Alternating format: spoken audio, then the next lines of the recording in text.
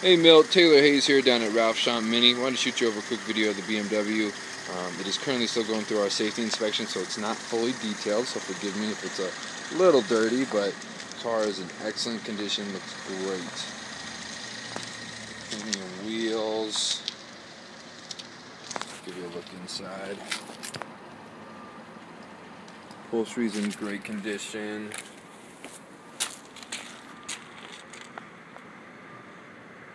Yeah, so I hope this just gave you a better look than just some pictures.